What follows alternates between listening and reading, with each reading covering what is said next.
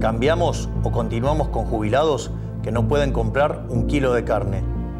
El cambio está en tus manos. La libertad avanza. Mi ley presidente, Villarruel Vice, lista 135.